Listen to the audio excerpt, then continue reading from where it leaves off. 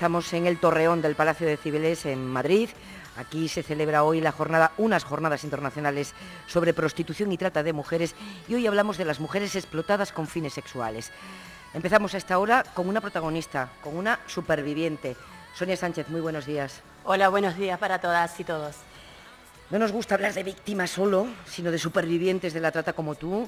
Eres una superviviente, pasaste por esta experiencia terrible cuando eras muy joven, con 17 años. Sí, en realidad ah, mi historia es igual que la de muchas mujeres empobrecidas del mundo que caemos en el tráfico de personas con fines de explotación sexual buscando trabajo. Tú tenías 17 años, buscabas trabajo en Argentina. En Argentina, sí. A los 16 años yo solo dejé la escuela secundaria a mi tercer año buscando trabajo por estar harta de comer cada tres días. Y, me fui a la gran ciudad que es, la, que es Capital Federal y, nada, también fui explotada laboralmente y como yo migré para progresar, mira qué palabra bonito, progresar, pedí aumento y como era menor de edad, estaba... ¿Trabajabas como empleada doméstica? Cama adentro. Ajá. Ah, Interna, viviendo. Claro. Solo tenía media, medio domingo por la tarde para descansar. Me levantaba a las 5 de la mañana, me acostaba a la 1 de la madrugada. Yo pedí aumento, no me lo quisieron dar. Y entonces yo le dije así como que soy bien atrevida. Le he dicho, bueno, uh, búsquese otra. Y sabes una cosa, no, nunca pensé en ese momento en el lugar donde estaba, que estaba a 1600 kilómetros de la casa de mis padres, que no conocía a nadie, que hacía seis meses que estaba en una gran ciudad con mis 16 años. Y estos patrones ricos, a los 15 días tenían una chica paraguaya de mi misma edad, pagándole exactamente la misma miseria que yo. Y tú te viste en la calle con 16 años. Viviendo en una plaza y querías progresar. Quería progresar como todas y todos, digo, ¿no?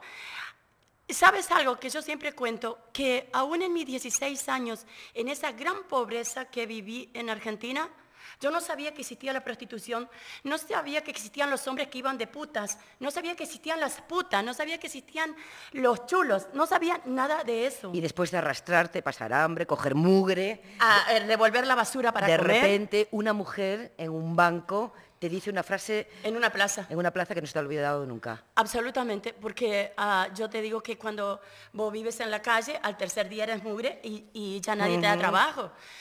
Entonces eh, eh, yo le conté esto, soy Sonia Sánchez, toda esta cosa y me dio algo para que me duche. Me duché, volví a la plaza y le pregunté, ¿y ahora qué hago? Y en mi puta vida me voy a olvidar lo que me ha dicho esta mujer.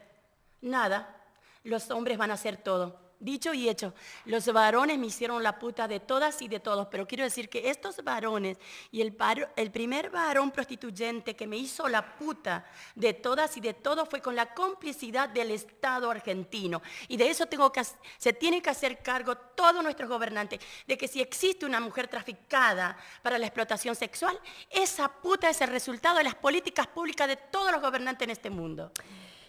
Y con 17 años dices, no puedo más, quiero llevar otra vida. Y ves una oferta de trabajo, se busca camarera. Oh, y dices, me voy donde sea con tal de salir de esto.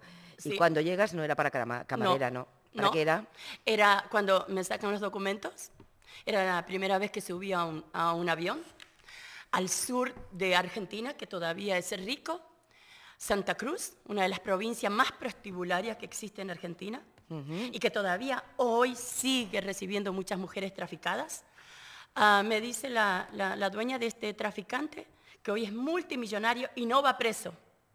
Ah, me dice, no vas a ser eh, camarera, Sonia, vas a ser la puta de todos. Y ahí quedé seis meses. No, no, no, sabía lo que era el sol, no sabía nada de eso. Explícale a la gente por qué no llamas a tu familia, por qué no te vas a la policía, por qué no denuncias, por qué estás ahí ese tiempo secuestrada y convertida en un objeto? Porque cuando, cuando te, te introducen, por ejemplo, uh, en, un, en un prostíbulo, uh, el, el, lo primero que te invade es mucho el miedo. Primero porque te hacen violaciones masivas. Violaciones masivas estoy hablando no de dos, tres varones que van de puta, de 25 varones que han pasado por todo mi cuerpo. Y por eso hablo de sobreviviente. En una sola noche. En una sola puta noche. Y eso es lo que hacen para quebrar tu identidad. Y eso lo padecí yo. Digo, yo llegué a un día lunes y al viernes era, ¿y sabes cómo le llamaban los varones? Bautismo.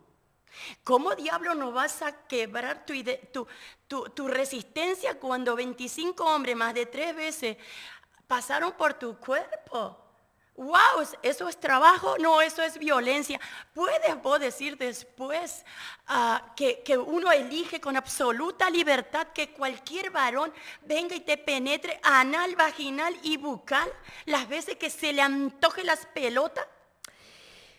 Ya ven que Sonia pertenece a la estirpe que es capaz de convertir el dolor, la tragedia en energía positiva, en energía que pretende cambiar el mundo, que su experiencia le sirva a otras. Ha escrito un libro que se titula Ninguna mujer nace para puta. Utiliza la palabra puta con mucha frecuencia porque dices que es terapéutico para ti. Saber, saber qué era exactamente lo que hacías para salir de ahí. Es que yo trabajo mucho con el lenguaje.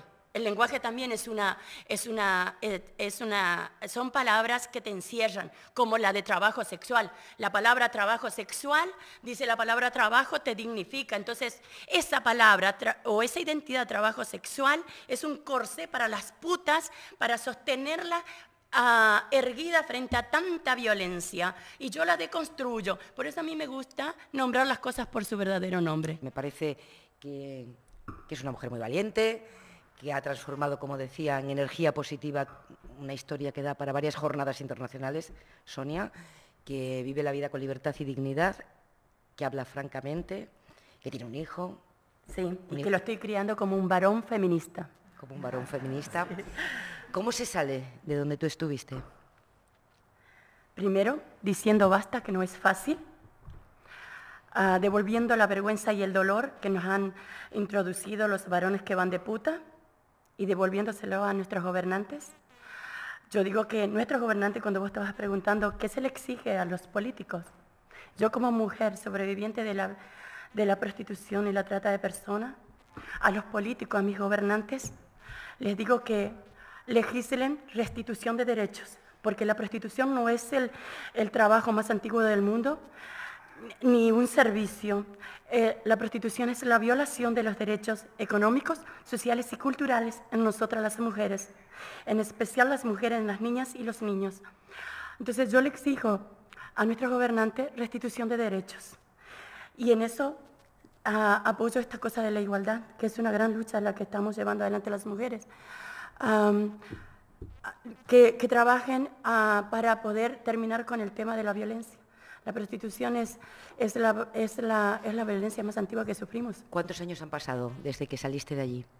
Muchísimos. Ah, yo hoy tengo 50 años mal y hoy muy bien vividos y fui explotada sexualmente y traficada más de seis y todavía me sigo reconstruyendo como mujer. ¿Y te cuesta recordar aquello? Me decías. Sí. Aparecen ahora imágenes que han estado ocultas en de mi cabeza. De hecho, mira, tengo 50 y a los 48 años em, entré en un ataque de pánico y, y recién me están apareciendo a todos los traslados que he tenido en mi vida, las violaciones masivas que he sufrido.